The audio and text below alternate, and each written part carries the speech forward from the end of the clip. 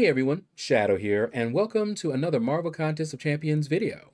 So there's a level up event going on, and I am about to take up my third six star to rank three.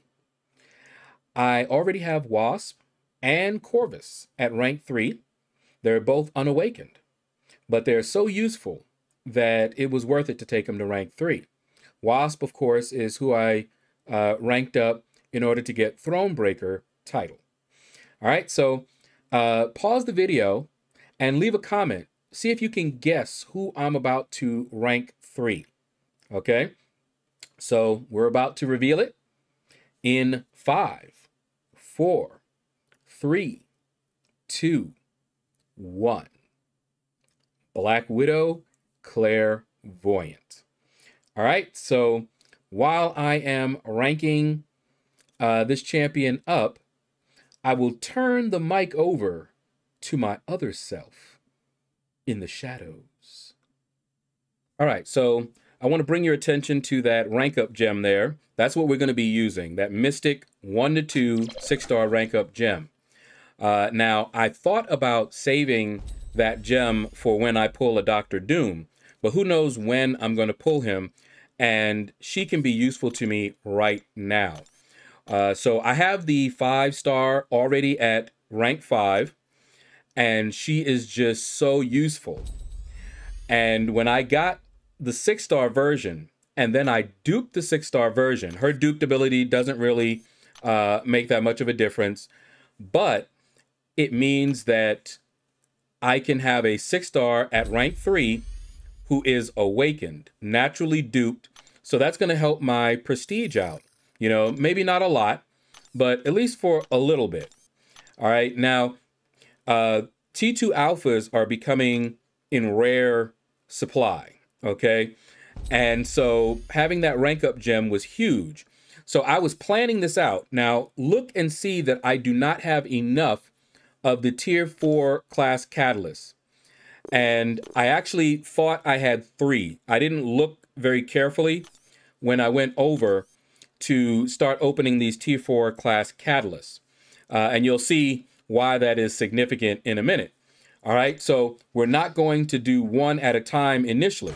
So boom, I open up 10 of these and look at this, not a single mystic. All right, we need four.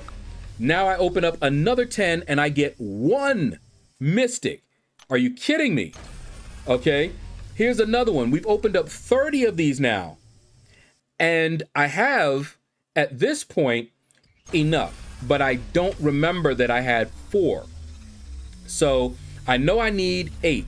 And you see, I'm saying I just need one more, just one more, because I forgot that I had four and thought it was just three. So I'm trying to quick tap it so that I can get that last mystic that I think I need. And just look at what happens to me. Tech. I have the most tech, okay? That's one of the reasons that I don't open these because I know that the RNG is going to give me what I have the most of, okay? Look at this, more tech. Yeah, I can't believe it either. I know, right? So, more tech, and that's gonna put a bunch in my overflow because I was already uh, kind of capped out, all right? Now, I will get a little bit of breathing room, and I was looking at that tech again, I was like, please, not another one. Uh, I don't currently have the sigil, but I will get the sigil. That is why I get the sigil, so that I can uh, keep more of these. That increased inventory is huge. All right, so finally, we get that Mystic. Now, at this point in time, I'm thinking this was the last one that we needed. Okay, so I go over and uh, uh, and I look, and it shows me the arrow. Okay, so I know that I have enough. All right, see that arrow blinking upper right hand corner on her.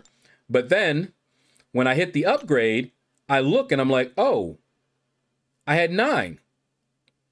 So I was like, okay, well, whatever. All that, the last few single uh, rolls, we didn't need to do. All right.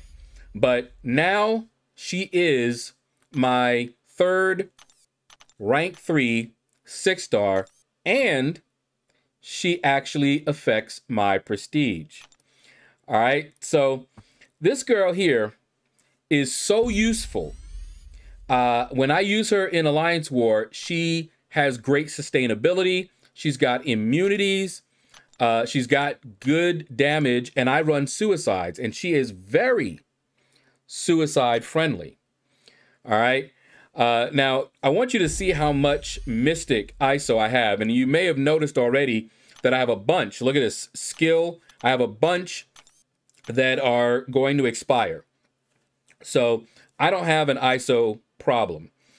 Uh, but we're close in now. She's almost all the way up. We're almost done, guys. Almost done.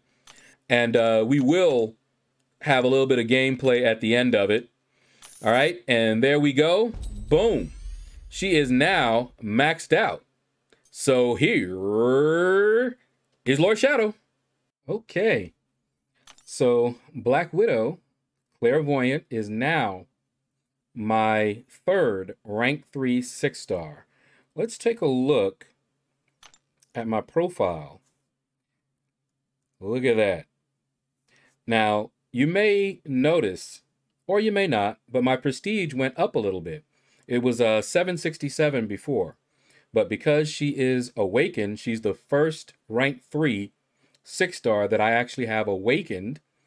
She affects my prestige. So we're getting in there. She is, of course, my new top champion. There's Wasp at rank three. There's Corvus at rank three. And I still have Doom, of course, or a, a five star uh, 65. He's got such crazy prestige. Uh, and I forget who else I have uh, in my top five, but they're also uh, five star. All right, let's take a look at uh, her stats. If you want to just take a look, uh, what she looks like at six star rank three. Man, that looks lovely. Lovely. All the utility. All right, guys. So, of course, we're not going to end this video without a little gameplay. So now, let's do it. All right, let's head on over to Realm of Legends here. You can see I'm going in with just Black Widow. Uh, let's get a feel for her uh, damage and uh, all of that. But she has such utility. Uh, but we're not going to see a lot of her utility. But I'll show you a few things, okay? So let's go ahead and start. Now she starts in that Curse of Blood mode where she's bleed immune. All right, but uh, let's uh, first let me show you her heavy attack. See that? See the bleeds on him? She didn't have to make contact. Okay, so her heavy attack is going to put a bleed in Curse of Blood. All right, so let's uh, do a light attack now she is in her poison phase. Now watch the special two here. Look at his health, uh, his uh, power bar. Okay, so she has a little bit of power control on her special two when she is in this poison phase. All right. So let's try that again. Look at that. Okay, so that can be very helpful.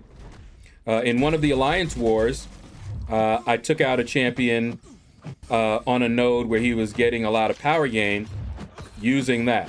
All right, so now we go over to Incinerate.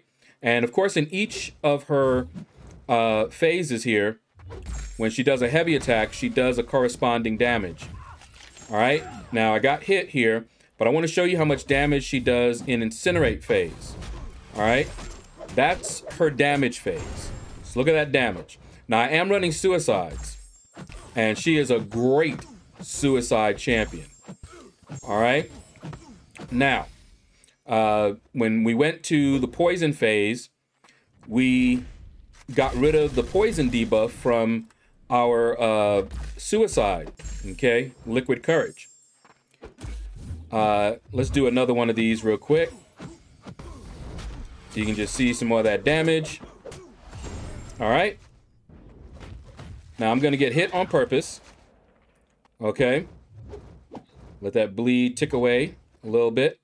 Get hit a few times. Come on. You can see she's taking some hits like a champ. All right, get hit on purpose. All right, so now what I'm gonna do is I'm gonna do a combo, but I'm gonna do a light ending attack. Now I'm in blood. Now watch this. Look at her health. In blood, when she does damage, her special two heals. And the amount that gets healed is dependent on how much damage she does. So if you have any attack boosts or anything like that, and of course, if you're running suicides, you're in there. Just look at her health. Beautiful. Got some crits, I believe, and did a lot more damage there. All right. Lovely. She has such utility. Uh, she is definitely one of my favorite mystics. And I'm very eager to see just how well she performs. Uh, I'm probably going to take her. Uh, I haven't decided if I want to bring her to Alliance War or bring her on the uh, Do Not Bleed, Do You Bleed uh, path in AQ that I take. Uh, I had the 565, and I love her. I love her, man. All right. Look at this. We're coming down to the end. So let me show you her uh, special one. Look at all that bleed. And he's down. So she's pretty impressive, okay? And I have not shown you everything that she can do. Uh, she's got great applications. Uh, she's a great counter for a lot of stuff. Remember, she is bleed immune when she's in that curse of blood. She is poison immune when she's in that uh, curse of poison or whatever it's called uh, phase. And she's incinerate immune in the incinerate. The incinerate is big boy damage. The poison has some power control.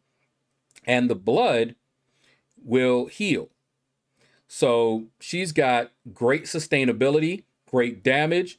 She is a very well balanced champion. And I'm happy to um, join the ranks of those who have taken her to rank three. And I was happy when I duped her because I knew that when I took her up to rank three, she would affect my prestige. And she did. Um, it went up quite a nice uh, little chunk. All right, so that's going to do it, guys. Thank you all for watching this video. Feel free to hit that like button if you enjoyed it. Leave a comment. Let me know what you thought about this video. What do you think about my choice? Do you think I made a good choice? I do. Take care, and you all have a blessed day.